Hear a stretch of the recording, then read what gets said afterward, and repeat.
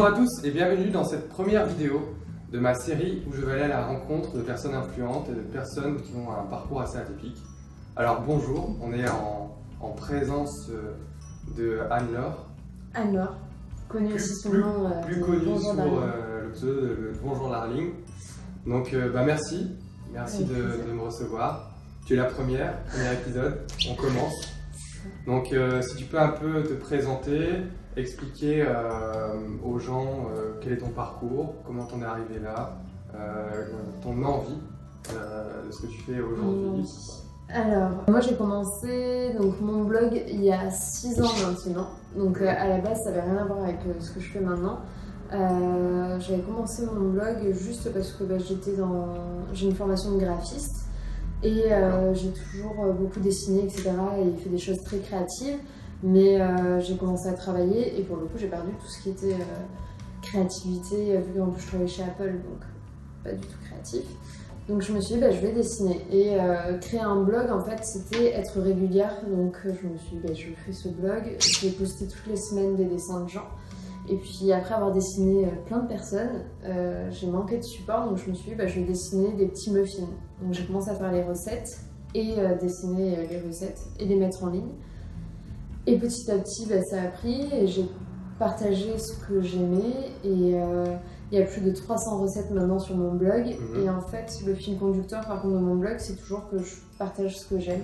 Je partage mes passions, je partage euh, tout ça. Et euh, bah, petit à petit, c'est devenu effort et réconfort vu que je me suis aussi mise au sport il y a 3 ans pour arrêter de fumer. Voilà. Ok, donc c'était un défi. Ouais, c'était euh, non, c'était plus pour compenser. Après, j'ai toujours fait un peu de sport. Mhm. Et euh, donc j'ai pris mon dossard pour le semi-marathon de Bordeaux et c'était parti. Et après, ben, ça, petit à petit, ben, j'ai- adoré ça. Euh, donc forcément, ben, les recettes de burgers, c'est passé un peu plus healthy. Mhm. Donc j'ai parlé de plus en plus de sport. Puis petit à petit aussi de motivation et de bien-être pour se sentir ben, bien, bien dans son pitch, hein, comme je- je- je- j'aime bien le dire. Et, euh, et voilà, ce que j'aime faire, c'est euh, partager mes passions, partager euh, petit à petit, être aussi influenceur, comme on porte ce, ce- ce magnifique euh, nom, en Mhm. fait, que je n'aime pas du tout. Mais au final, je commence à l'assumer de plus en plus en me disant que oui, bah, petit à petit, j'influence le bonheur des gens. Donc, Donc on va parler un, un peu de bonheur, parce que moi je suis en plein dedans Ouais. avec l'accident que j'ai eu. Donc toi, comment tu, tu véhicules tout ça? De quelle manière Euh, Est-ce que tu peux donner des petites choses qui pourraient, des petites clés qui pourraient aider les gens qui regardent cette vidéo? Je pense que c'est quelque chose qui est très compliqué en fait. Euh, le fait de. Enfin, la clé numéro un, je pense, c'est la patience. Et c'est en fait c'est ce qui est assez dur parce que ben, on est dans une société où on est de plus en plus habitué à tout avoir du jour au lendemain. Mais en vrai, euh, ben, il faut savoir être patient parce que ben, justement c'est ce qui nous manque, je pense, et que c'est une des plus grosses clés, c'est d'être patient, de se dire que bah, aujourd'hui je vais peut-être pas bien, mais j'avance au quotidien et quoi qu'il arrive, même si bah, aujourd'hui je fais un pas en arrière, au quotidien j'avance et, euh, et être bienveillant envers soi-même, apprendre à être bienveillant, avoir la patience d'être bienveillant avec soi-même, avec les autres, comprendre bah, que en étant heureux, bah, au final on rayonne aussi sur les autres, donc c'est aussi des fois bah, apprendre à être peut-être aussi un peu égoïste, Mhm. mais enfin apprendre plein de choses et euh, pour euh, se dire que oui le bonheur c'est quelque chose qu'on peut atteindre.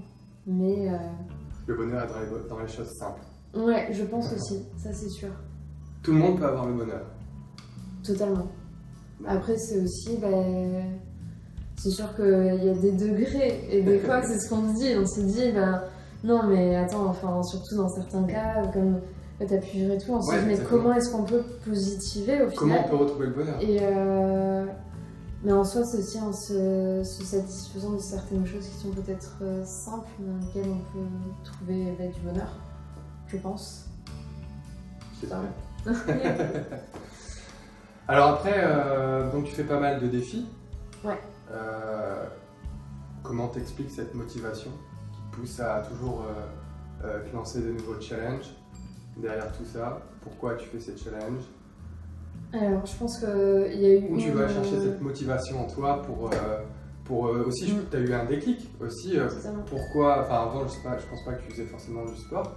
Là maintenant, tu te lances des challenges. Enfin, euh, moi, j'étais un sportif de haut niveau, donc euh, j'ai toujours eu cette fibre. Mais toi, euh, tu as eu ce déclic et maintenant, vraiment, tu as, un rythme assez, euh, assez élevé. Donc, euh, comment t'expliques ça? Comment tu arrives à aller chercher en toi cette motivation? Alors, je pense que déjà, j'ai une chance, c'est que j'ai grandi dans une famille de rugbyman. D'accord Donc, mine de rien, le milieu du sport, les valeurs du sport, etc., j'ai quand même baigné dedans. Donc, euh, ça n'a jamais été euh, un monde qui m'a été inconnu. Moi, j'ai jamais été non plus une grande sportive. Enfin, je me suis jamais considérée, je pense, comme sportive jusqu'à il y a peut-être deux ans.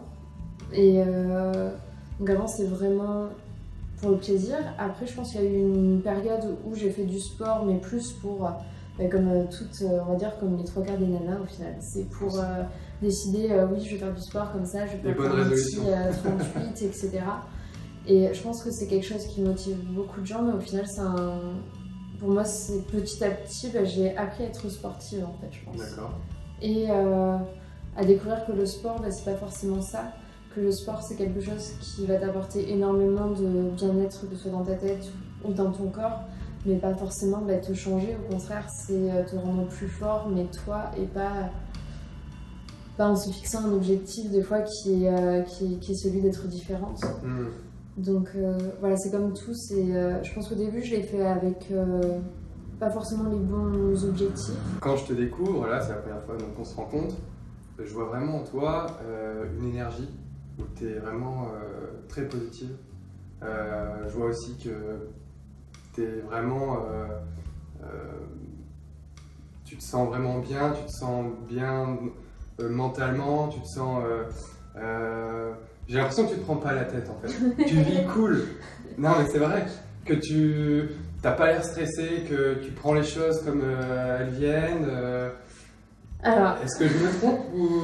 Alors, je suis stressée par exemple là, j'étais comme ça, bah, déjà de parler moi devant une caméra, etc. Il faut savoir que la première fois que ça m'est arrivé, euh, c'était hors de question. On a dû vider la salle, il n'y avait qu'un seul caméraman et c'est, c'est pas facile. ça va bien Mais après, c'est. je pense qu'avant, j'étais pas du tout comme ça.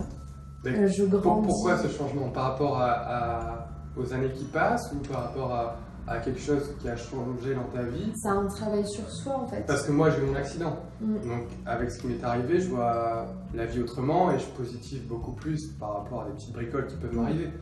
Mais je me dis qu'une personne valide qui n'a pas eu d'accident ou qui n'a pas eu forcément de traumatisme, euh, qui arrive vraiment à être euh, à pas se prendre la tête et à vraiment être prendre la vie euh, comme elle vient, avoir euh, du bonheur, etc.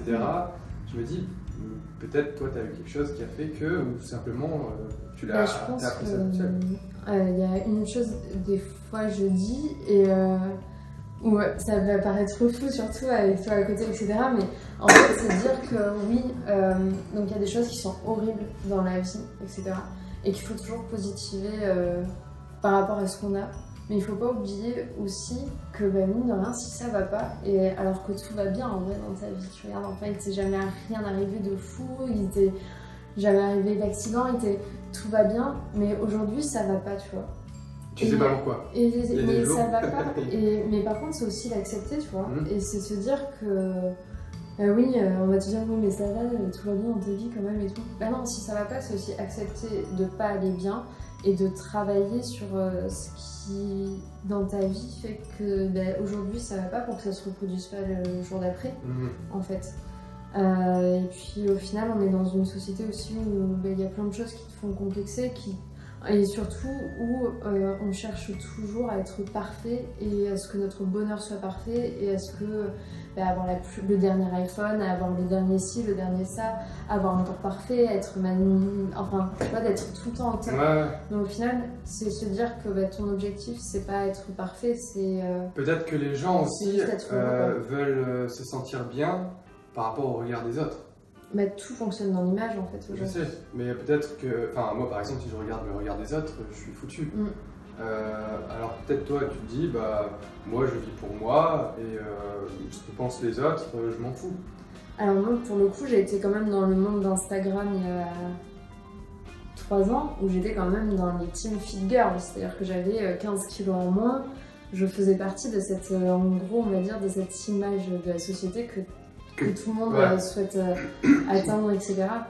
Mais au final, c'est euh, une fois que tu comprends que c'est pas ça la vraie vie, que c'est ouais. pas, enfin, c'est plein de contradictions.